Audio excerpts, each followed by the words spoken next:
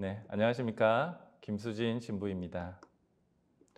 네, 지난 시간에도 이야기 드렸지만 오늘로써 육회 프렌즈 제1부 사도신경편이 마무리됩니다.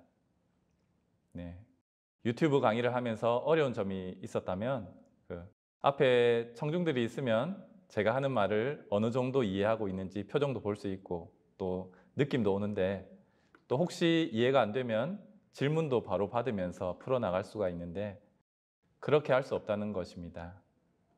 그래서 어떤 강의는 어려웠을 수도 있고 또 어떤 강의는 충분히 설명을 듣지 못한 느낌이 들었을 수도 있을 것 같습니다.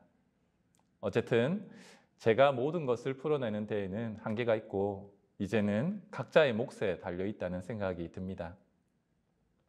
특별히 사도신경과 관련된 책을 몇 가지 소개한다면 그 요셉 라칭어 현 베네딕토 교황님이시죠. 네, 교황님께서 젊은 시절에 쓰신 그리스도 신앙 어제와 오늘이라는 책이 있습니다. 네, 굉장히 어렵습니다. 어렵긴 하지만 사도신경과 신앙을 이해하는 데 있어서 굉장히 큰 도움이 되실 거라 생각하고요. 한번 어려운 것에 도전해 보실 분들은 도전해 보시기를 바랍니다. 또 한스 퀸 신부님께서 쓰신 현대인을 위한 사도신경 해설 민나이다. 네, 이 책은 그나마 좀 쉽게 읽히는 책입니다. 이 책도 사도신경을 이해하는 데에는 많은 도움이 될 것이라고 생각합니다. 네, 그 외에도 많은 신학 서적들이 있는데 어쨌든 알아야만 믿음이 더 성장할 수 있고 그래서 알기 위해서는 스스로가 더 노력해야 한다는 것입니다. 강의를 듣고 또 뭐 성경을 읽고 기도하고 미사 드리고 이런 것들도 중요하지만 알려는 노력들도 게을리하지 않을 때 신앙이 좀 더 비약적으로 성장하지 않을까 생각합니다. 네, 이 시간을 통하여 한 번 더 도전해 보시기를 바랍니다. 네, 오늘의 질문입니다. 가장 짧은 신앙 고백에는 어떤 것이 있나요? 유케 프렌즈는 이렇게 대답합니다.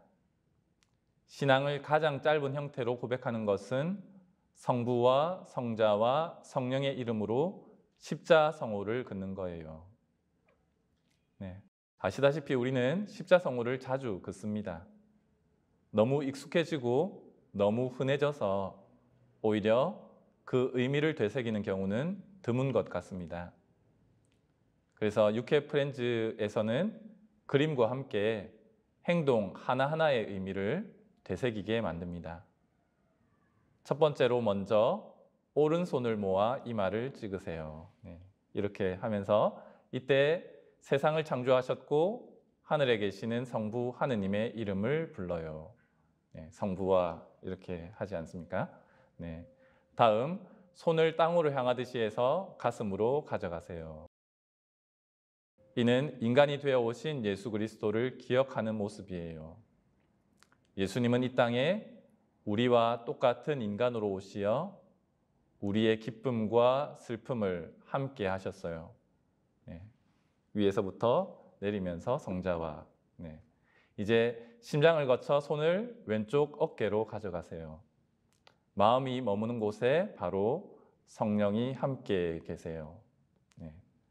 성부와 성자와 성령의 네, 다음 오른쪽 어깨로 손을 가져가세요.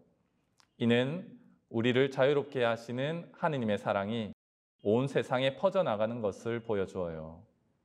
그 사랑은 어느 누구도 이 세상 어떤 것도 결코 잊지 않아요. 네, 성부와 성자와 성령의 이름으로 아멘. 에제키엘서 9장 3절에서 4절에는 이런 내용이 있습니다. 주님께서는 아마포 옷을 입고 허리에 서기관 필갑을 찬 사람을 부르셨다.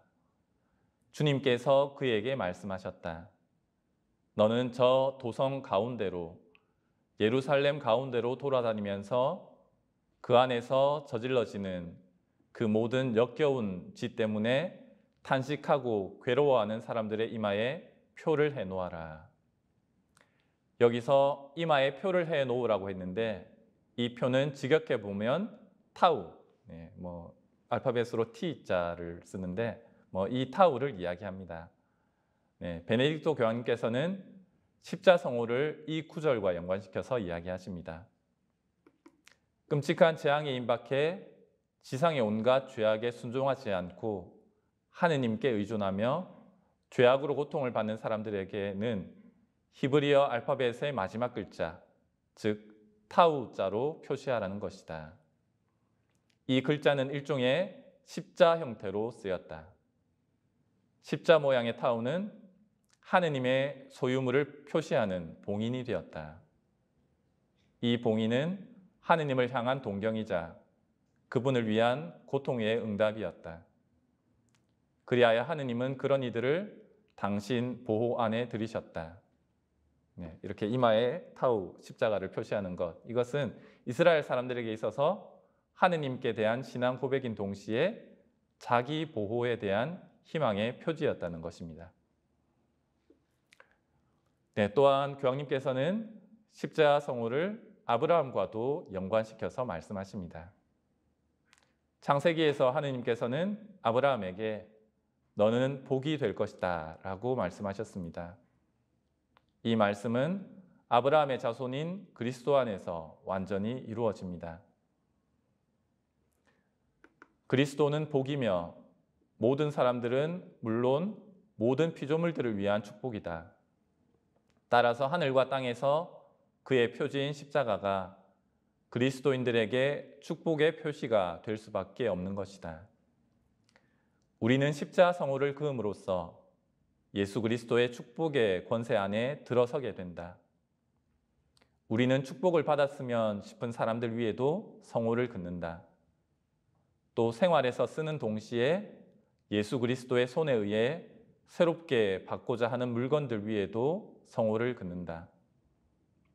이 십자가를 통해 우리는 서로에게 축복을 주는 사람이 될 수 있다. 어딘가로 떠날 때, 그것이 긴 이별일 때 아이들에게 이마와 입과 가슴에 십자성호를 그려주는 아버지와 어머니의 염려와 마음을 나는 결코 잊지 못할 것이다. 이러한 축복이야말로 우리가 알고 있듯이 우리와 함께하는 동반자가 된다. 즉, 우리와 함께하는 부모의 기도를 가시화하며 구세주에 의해 받아들여짐을 확신하는 축복인 것이다.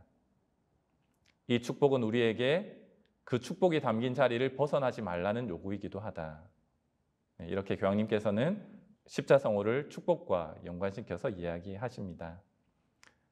또한 십자성호는 우리가 이미 받은 세례를 다시금 떠올리게 합니다. 세례에 있어서 가장 중요한 것이 물을 부으면서 성부, 성자, 성령, 삼위일체 하나님께 대한 신앙을 고백하는 것입니다.